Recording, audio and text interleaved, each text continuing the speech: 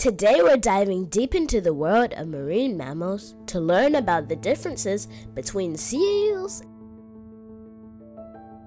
and sea lions. Seals, also known as earless seals, are like the stealthy ninjas of the ocean. They don't have those cute external ear flaps. Instead, they've got tiny openings without any outer ears. Seals have short stubby flippers that make them look a bit like chubby caterpillars when they're on land. When seals swim, they do it with style, using their hind flippers in a smooth, streamlined way. And guess what? Seals are the chill loners of cold places because they like being alone. Sea lions have visible ear flaps.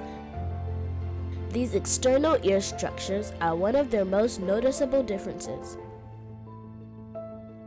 They have longer flexible flippers that can twist and turn, which allows them to walk and even run. They are known for their powerful forelimbs and use all four flippers to propel themselves through the water.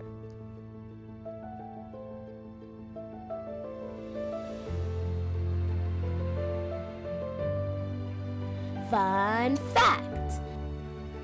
Did you know that seals and sea lions are known for their exceptional diving abilities?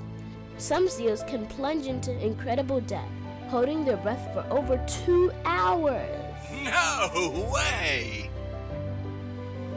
Let's imagine we are in the water. Take a deep breath and blow imaginary underwater bubbles as we count.